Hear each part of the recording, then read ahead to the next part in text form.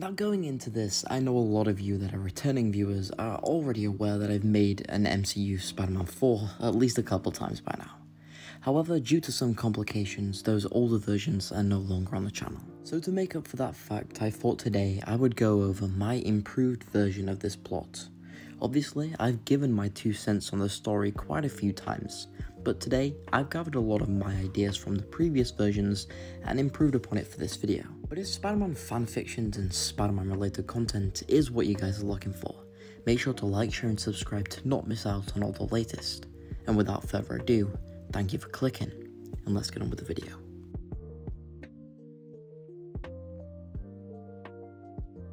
So for this movie, we need to focus on what made the ending of the previous so special, leaving Peter with nothing and no one, all on his own as he prepares to tackle his Spider-Man and Peter Parker's lives head on, now fully immersing in the lessons he has learned from the previous movie. This movie is to take place at least a year and a half since the ending of No Way Home, allowing room for growth and a breather between stories. We open this movie, however, in the past. The year is 2015, and we watch as the thunder crackles and the rain pours down to the dark, gritty streets of New York's underground. We watch as Mac Gargan is on the run, being chased down by notorious mercenary Abner Jenkins. Gargan was down to one bullet. After a tussle in the rain, Gargan is able to pull out his gun fast enough to shoot a bullet right through Abner's cheek. As the blood splurged out onto Gargan's hand, he left no hesitation as he dived on top of Abner and beat away at the little life he had left within him. The cuts and bruises on his hand laid bare as he struggled to stand, shadowing over Abner's body the scorpion tattoo visibly striking on his neck as he began walking. Back in the present, we follow a day in the life of Peter. Now attending Empire State University, Peter led a lonely life. After everything that happened, he saw himself wanting to abandon his life as Peter altogether and instead only be Spider Man. After realizing the amount of pain, hurt, and struggle he put his loved ones through, Peter was still living each and every day under the influence that he was never allowed to be happy, for the betterment of others, and in doing so, he's almost relapsed in a way, being constantly late for class, those same habits have caught back up with him. Although a disappointment, Peter had found himself to be a favourite of his teachers, and is a nice voice of reasoning for him. He asked Peter the question that he will spend the movie trying to answer. Is the life he's leading what he wants, or what he needs, offering this idea of want first need and what it means to be in the middle of the two terms. The setting of this movie would be a dark autumn, giving us an atmosphere that represents Peter's feeling. Bogged down with a darker colour palette, we were able to reason with the way Peter was feeling. He took the subway home as he made it to his crusty, mouldy apartment. He was greeted with half a dozen eviction notices scattered across the ground, showing us how Peter was not only emotionally struggling, but also physically. He saw the past due bills and back to the emptiness of his wallet as he grabbed his computer. We saw his suit laid across the floor, showing us how untidy Peter was keeping himself. Peter looked back at the screen. He saw a job position of a freelance photographer for the Daily Bugle. He contemplated with the idea, especially after all Jameson did to try and shut Spider Man down in the previous movie. But out of all the jobs, it offered the most pay. Peter was about to apply when his computer died. He tried plugging it on charge as he came to realize the electricity had been cut. Peter just sat there, holding his head in his hands. The wind breezed through the curtains later that night as Peter found himself laid awake on his bed, scrolling through photos of MJ, her reflection glaring back in the softness of his pupils as we saw a gentle tear. It rolled down his cheeks and onto the pillow. Having to lose the woman he loved was the most heartbreaking part of all of this. We saw a flashback filled with a chromatic black and white filter as we saw Peter and MJ on a date. They held each other's hands as they entered a cinema, escaping the snow filled streets as the two sat in their seats.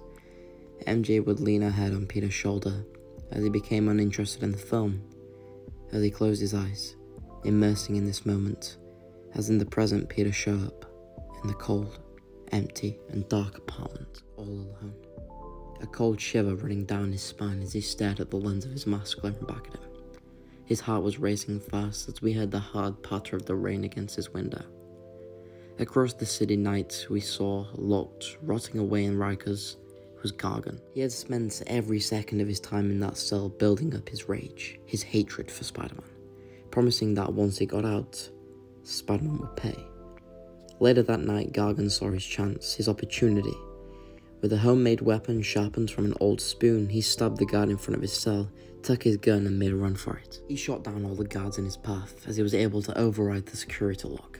Gargan escaped with ease as we saw the look of terror on the warden's face.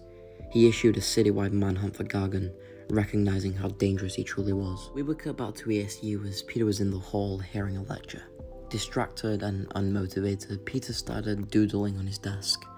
The speaker then talked about how unimportant things, about law and how important it is to understand it, and here today to talk everything about the law was Hell's Kitchen's very own, Matthew Murdock. Peter's attention was caught as we saw Murdock walk in the front of the class, Matt talked endlessly about the importance of law and justice, and how sometimes the system meant to protect us can fail us, and it's up to us to make sure the bad stays locked away and the good gets their justice. The talk resonated with Peter.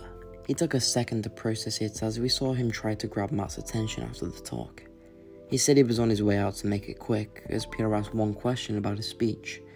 We saw an immediate bond be struck between the two as they bantered effortlessly. But as Matt got a phone call about something, Peter's crime system did too. Murdock said he had to be going, as Peter said the same.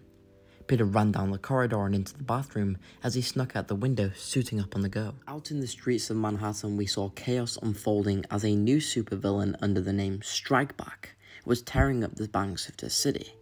We saw how this villain, also known as Anthony Davis, had used a weaponized suit with ring shaped weapons and how he was destroying the streets. That's when Spider-Man arrived, stopping one of the Strikeback's attacks. Making a quip about the hilarious nature of his costume and powers as Strikeback tried to prove he wasn't a force to be reckoned with. Peter was quickly swiped off his feet as we saw the two tussle. Hits were sent back and forth as Peter tried to hold his ground.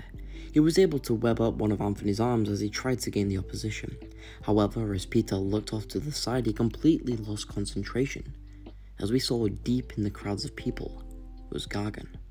Peter knew the face was familiar, he just couldn't pinpoint where. However, Gargan vanished as Strikeback used Peter's distraction to his advantage. Peter was kicked to the ground as he got his arm free. We saw him slowly approaching Peter, laughing hysterically, about to finish the job, when his attack was floundered by a streamlined red baton. Peter reopened his eyes and looked up as we saw, fully suited up, was the Daredevil. He told Peter he was here to help. Peter asked who the hell this guy was. Murdock said he was just some random guy he's been tracking down for a while now. That doesn't matter. He needs Spider-Man to flank him and destroy his harness. It's the source of his power. We watched as the two partnered up to stop this threat. Matt's plan was actually successful as Peter ripped out Strikeback's power source, sending him crashing to the ground. Peter webbed him to the floor and placed down his courtesy card tapping back into this idea that he is our friendly neighborhood Spider-Man. Peter stood side by side with Daredevil as we saw an epic shot of the pair. Matt heard the sirens in the distance as he told Peter they should leave the cops to do their jobs. We were cut to a rooftop in the city. Both Spider-Man and Daredevil were sat on the ledge as Matt explained who that was. He was a criminal that was directly involved in the robbery of one of his clients. Peter said Matt sounded familiar, like he'd seen him before. Matt just smiled. He turned to Peter and told him he could feel he was distracted. Peter just said that sometimes this path feels too much for him to bear. Matt gave Peter a great speech about the meaning of sacrifice, this idea of responsibility and choice. before he left, he handed Peter a card with his law firm number on the back, just in case he got into legal trouble. As Peter looked down, he saw the names Nelson and Murdock.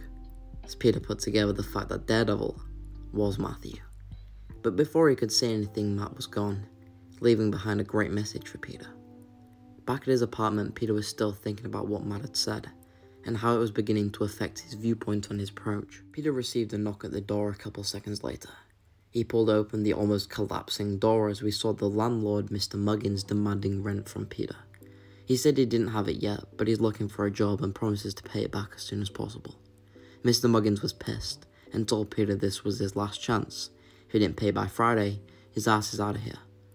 Peter understood and said sorry as he closed the door. In the meantime, we watched as Gargan scounded across the city. Moving with the wind as he got used to being on the outside. The freedom was intoxicating. It fueled his anger even more. When he looked in Spider Man's eyes, it only made him thirst for his blood even more. Gargan saw his old hideout had been raided and abandoned as he broke in through the boarded up window. The dust filled the air as Gargan looked around in the dark. All his loadouts were nothing but empty boxes. Gargan got frustrated, realizing he'd have to start all over from scratch, but swore to God he'd make Spider-Man pay.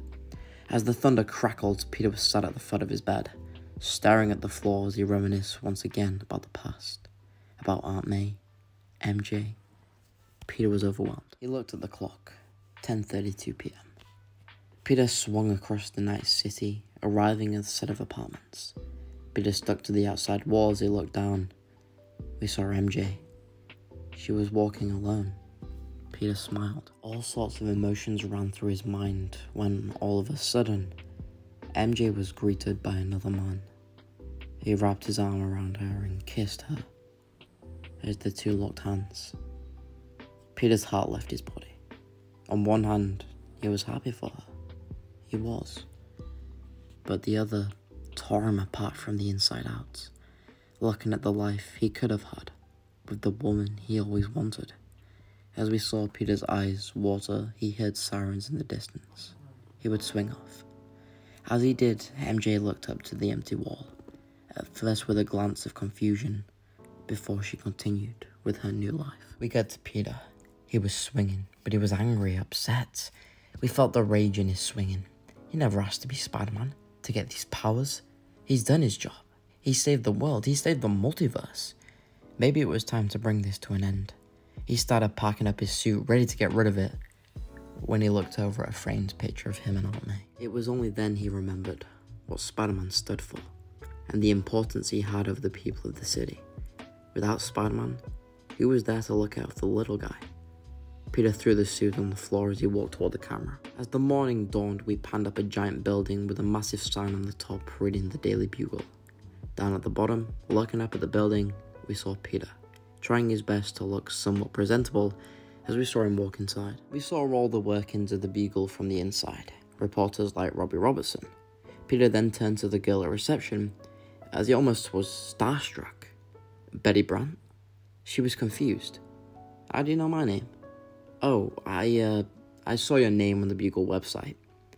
Betty was a little weirded out, but thought Peter to be rather dorky and funny. He said he had an appointment to see J. Jonah Jameson, as he said he was just in a meeting.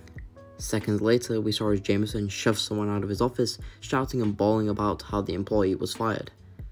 Betty wished him good luck as Peter walked into the office. Who the hell are you? I'm Peter Parker. I'm here about the freelance job. Jameson went into a frenzy about how the newspaper industry went bankrupt, but how important it was to spread the truth about the menacing acts of Spider Man.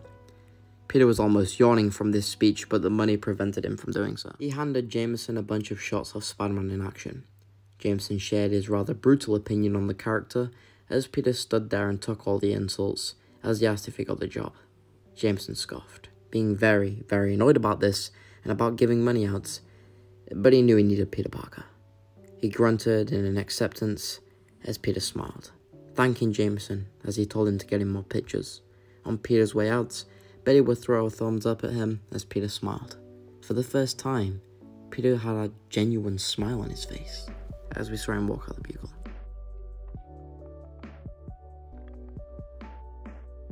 Now that the groundwork's been laid, it's time to dive deep into this story. Peter had been faced with so many questions during the start of this movie, and it's now about answering those questions and figuring out what is right and what he's supposed to do. A huge chunk of this act goes to the development of Gargan as a character. Since he's been gone, he's particularly been forgotten by everyone, but the haunting nature of his killings haven't. And he's used that fear to slowly climb his way up the ranks as we start to see his plan unfold. He's been leaving trails of bodies around the city which Peter has been following, leading a wild goose chase across Manhattan. Peter was able to put together from the news that this Mac Gargan guy was someone he had stopped a long time ago, and Peter was able to come full circle and realize that his actions have led to severe consequences. After all, Gargan is only on this rampage because of Spider Man. All these deaths are now on Peter's hands. Peter has tried to get Jameson to make headway within the story and bring Gargan's crimes to justice, but Jameson tells Peter to stick it and that the Bugle can't get into any more legal trouble. So Peter was all on his own. No Daredevil, as he'd gone back to Hell's Kitchen, no Avengers, no loved ones. This was a Spider-Man with nothing to lose. As we caught up with Gargan, however, we started to break down his plans. The killings he had made were people directly involved with transporting highly sensitive technology. Gargan's been murdering the people sent to protect it, as he's been stealing from these trucks and taking this equipment for himself. And he's been slowly building something deadly. Peter has had no luck in regards to tracking Gargan and is starting to feel worn out. Peter needed a distraction, something to break up this cycle. He grabbed his jacket as we cut to a graveyard. Peter loomed over his Aunt May's grave as he stared at the name, feeling nothing but guilt.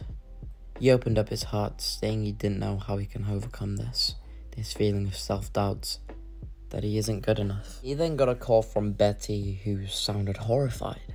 She told Peter to check the news as Peter looked on his phone, seeing that a containment team of over 30 men was slaughtered by alleged prison escapee Matt Gargan. We saw the look of sickness in Peter's eyes. He said this had gone far enough. Gargan had gotten what he wanted. He wanted Peter to feel that rage and that sickening stomach feeling that Gargan had spent the last decade feeling. Peter forgot about college, rent, everything that wasn't to do with Gargan, as he focused solely on this. Gargan, however, was putting together the last pieces of his build. He just had one last little chore. Gargan armed up with a dangerously sharp knife and a pistol as we pan close into the scorpion tattoo.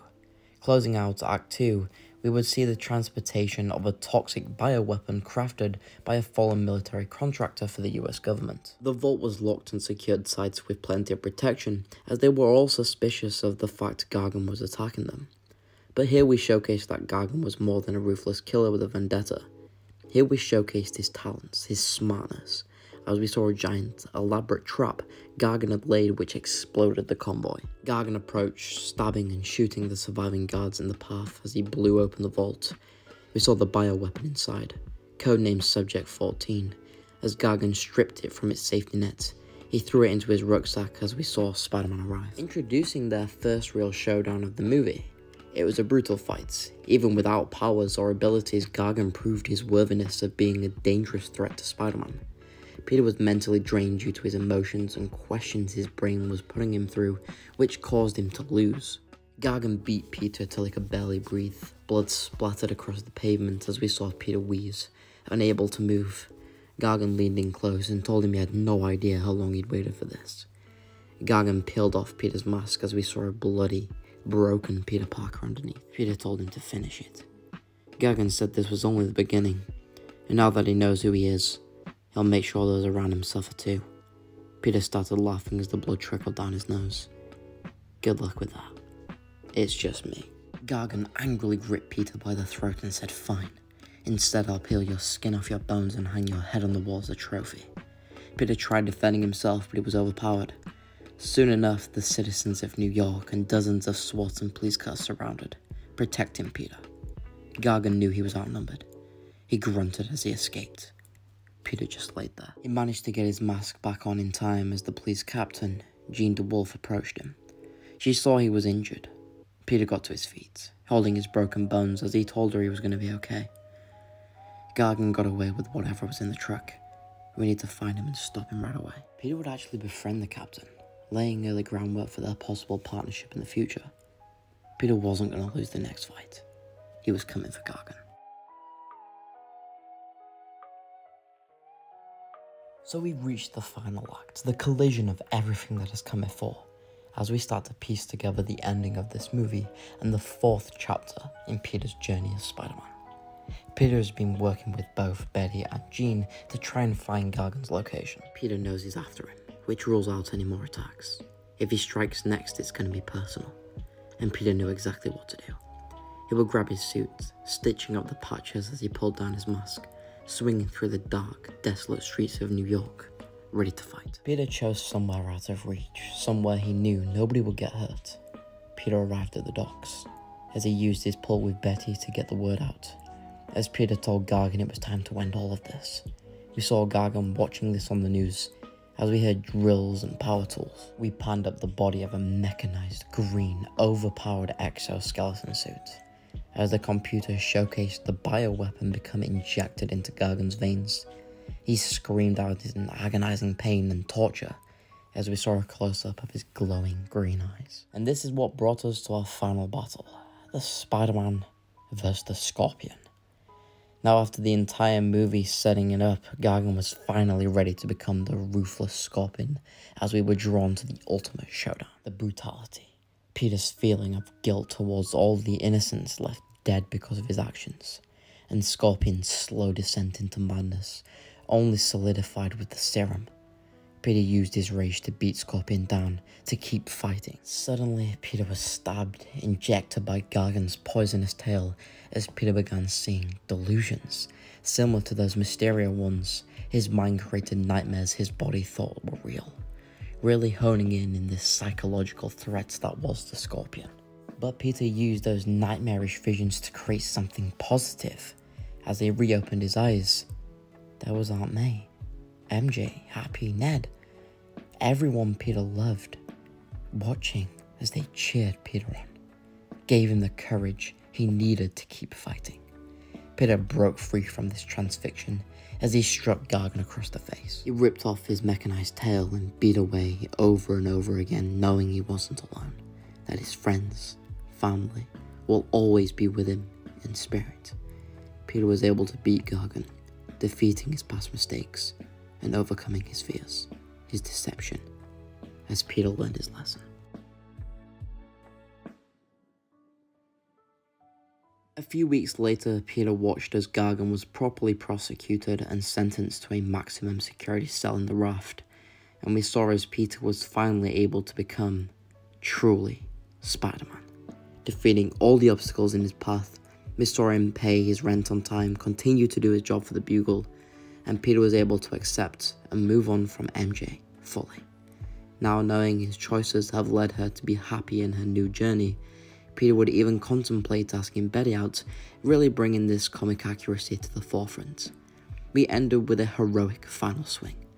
Peter soared through the high skyline of New York, the beautiful theme blasting loud and proud as we faded to black and the movie would end.